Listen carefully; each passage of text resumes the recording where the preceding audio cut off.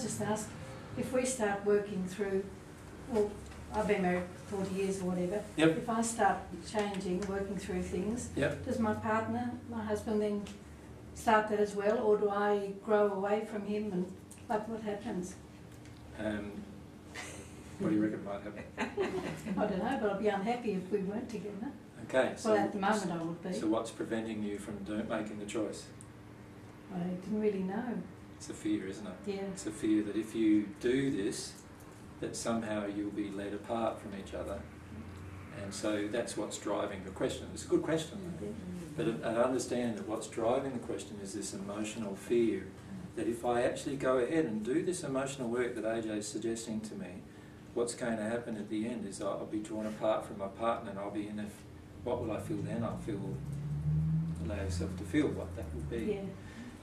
The, truth is, though, that uh, your soulmate will be attracted to you as you do with all of your emotional injuries, and your current partner will also be attracted to you, ironically, because you, you're a better person, aren't you?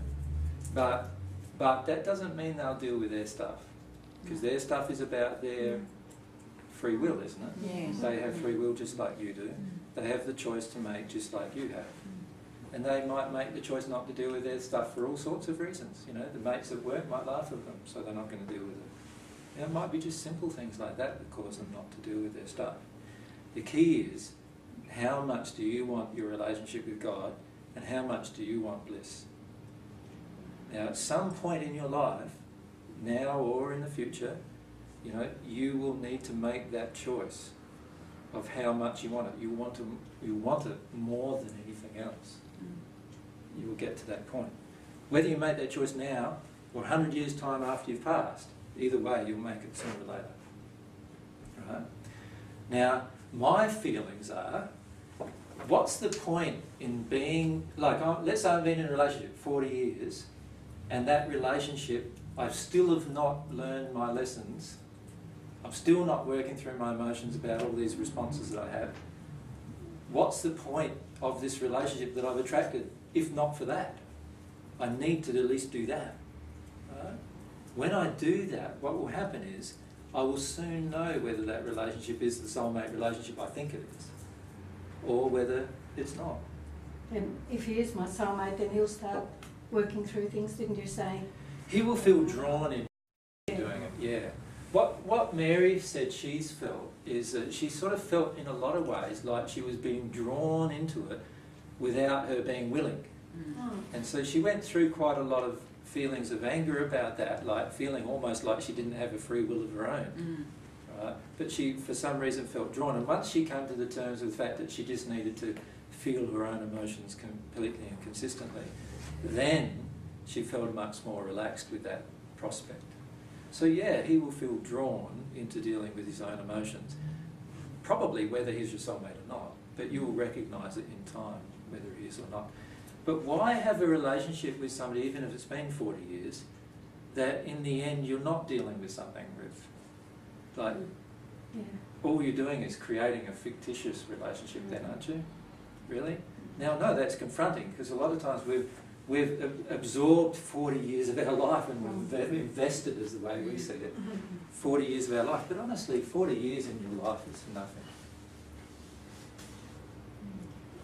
Like, But the majority of people that you would, majority of partners that, that, um, I would speak to, um, have issues. Yep. And they still stay together. Yep. They're happy together. no, they're not. They are happy together. No, they're and not. They work through their stuff together. And they have a really good relationship. And so they come to the end of their lives, or one of the, those people come to the end of their lives. And so that's, that's finished then. And I'm thinking, why, why um, disrupt that relationship um, to work through issues that you're sort of slowly working through anyway? Just a quick survey. How many of you are 100% happy with your relationships? I didn't say that they were one hundred percent happy. I said that they're happy with their Nice. relationship. The question I asked was how many of you are 100% happy in your relationships? Ninety-six point five. 96. Let, let's be honest. So being unhappy sometimes, is that still happy? Well, this is the thing. How do you gauge happiness? Yeah. Right, for a start. So, so let's talk about happiness. Now, your question is driven by a fear. Yes. What's the fear? Say that again? Your question is driven by a fear within you. What's the fear? I don't have a fear.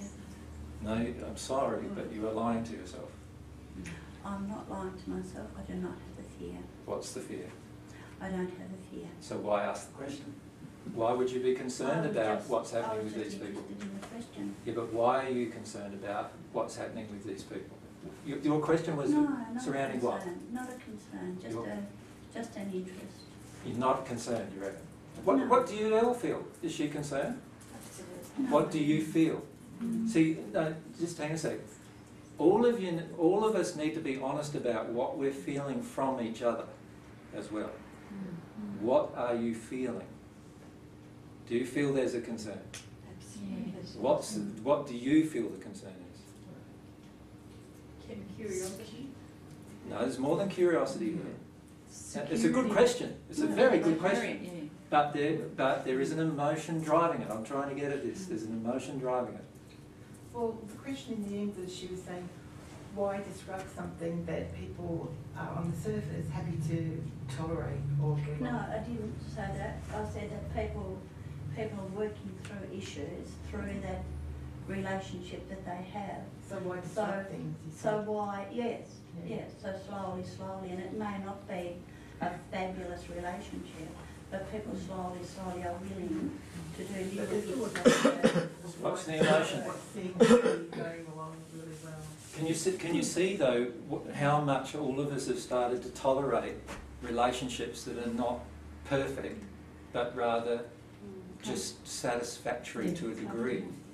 So why do we do that? Because we have a feeling inside of us. And what's the feeling? That we will never get what's perfect. Mm-hmm. That's the feeling we have. Right? All of us have this feeling that's a childhood feeling most of the But time. isn't the word perfect an individual thing anyway? Of course it's an individual thing. Mm-hmm. I'm not So arguing that. my perfect would be different to Karen's you're perfect. perfect. Yeah. But see now what are we doing? Intellectualise. Now we're intellectualising Yeah, our, right. uh, the fact that we haven't got an imperfect relationship. I think We're judging. I think it's from um, not recognising your truth from within and speaking your truth. Well, It's all this surrounding information that's coming together. very much so. It all gets back down to those three things that I've mentioned, right, in the end. But if we look at honest, look honestly at things, I'm not saying just because you have a imperfect relationship in your own eyes that you should leave your partner. What I'm saying is, what do you want number one in your life? For many of us, you know what we want? Security, safety, all of these other things. Why do we want those things? Because we're afraid, and that's why we want them, right?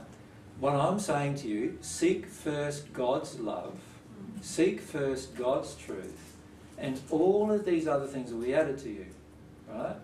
So what that means is that you'll be in a place of bliss with God in a few years, maybe two, three, four years, depends on how much you are dedicated to dealing with your emotions. When you're in that state, you now have a you have the ability to create a totally blissful relationship with a partner. Now, wouldn't you want that if you had that available to you? Wouldn't you want that? So why would you choose to delay that? There's got to be an emotion that chooses the delay of that. You follow me? There has to be an emotion, right? That chooses to delay that realization of that kind of a relationship. So the rela- a lot of the emotions are, you know, we tolerate things being just normal rather than things being blissful. We tolerate it, don't we? Mm. Let's look at our lives. How many times in a day do you tolerate something that in reality you think you didn't want? So you really fear of change? Huge fears of change. We have huge fears of change within us, right? And most of us have huge fear of change because of what the change means. not only to ourselves but our partner, our children, all mm. sorts of things will be affected by these changes, right? And we are so afraid of all of that, that, that we then think, in our mind, we then think, do I really want to do this? Right? And my suggestion is to think a bit, a bit differently. My suggestion is to go down the track of thinking it this way.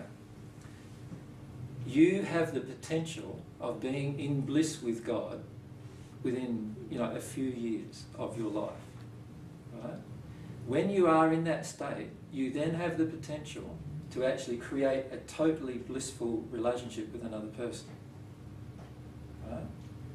No matter who you have now, it might be the person you have now, even, hmm. but you are potentially able to do that.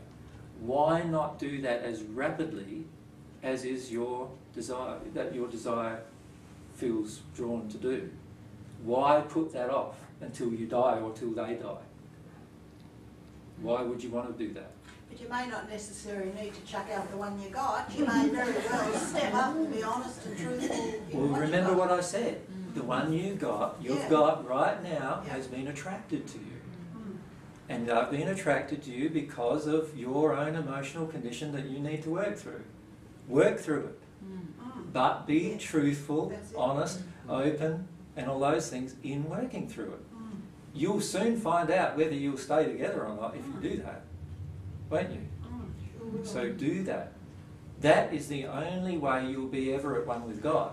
So I'm saying to you, put your relationship with God first, then your relationship with yourself next.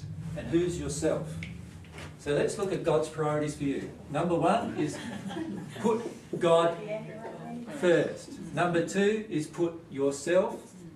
Now, when I say yourself, I mean your complete soul next.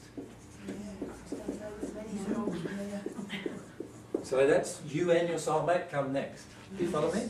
Is this the same, like you were just talking before about um, with the soulmate um, diagram that uh, the soul operates within God's principles, or uh, is this what, are they the same things? Yeah. So it's God's principles, like, is the, All of God's laws actually revolve around these basic priorities. yeah, And when I put my priorities out of harmony with God's priorities, I will automatically create pain in my own life. Mm. Automatically. so is that the same as the top ten that they put in the Bible, or? The top ten. No, no, they are not the Ten Commandments. What about the Bible, should we read the Bible? No, why? Okay, that's all. You don't have to read the Bible. Yes, please. It's straight down. The Bible didn't exist when I was there. Like, I wasn't, did I read the Bible? No, like, like the whole, I read the Old Testament, but the whole of the New Testament didn't even exist. It was written by man. Well, the whole lot was written by man. Like, and honestly, um, like, if why would it be all of a sudden important for you to read the whole New Testament before you can become at one with God when it never was even available when I became at one with God? Huh? Does that make sense though? Doesn't? Yeah, okay. Isn't it funny, isn't it, how a lot of things really make sense when you break it down to the brass roots and then you wonder, what in the hell is everyone saying about the Bible and you've got to read it every day? Do you know what I mean? Now, there are a lot of things that are really good in the Bible. I love a lot of the things in the Bible myself, right?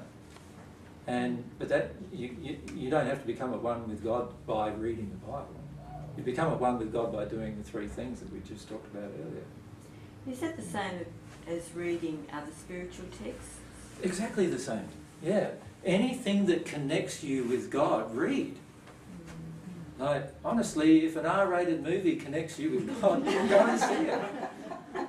You understand? Like, what, how will it connect with God? It might trigger some emotion, right? Of, you know, it might be an R rated movie with violence in it that triggers some fear inside of you, and you, you have a big cry and release a heap of fear, and you feel closer to God, right? Yeah. So I'm not saying don't do anything, really. Do what you, your soul needs to grow. Yeah. Don't judge it, do it, what the soul needs to grow. Remember, every time you act in disharmony with love, you will feel it in your heart. You will. If you open your heart emotionally, you will feel the penalty hit you. Mm-hmm. Right? So I'm not saying that you're going to get away with doing everything you choose to do. I am saying do whatever leads you closer to God. That makes sense? So God, if you put God first, and then you put your your soul, your complete soul, next, and then you put your relationship with others, including your children, next. How many of you are putting your children first at the moment? A lot of people do that, right? Mm, because there's a belief that we've got to do that. I had I had my whole priority list totally screwed up, right? Totally screwed up. You know why? Because the yourself part was down on 999 myself, right? It was down there. It is with a lot of people. Yeah, and how many times do we do that? Hmm.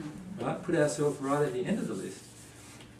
So, if you get your priorities right the way God created your priorities to be, what will happen is you will connect to God very rapidly and you'll trigger lots of your own emotions in the process.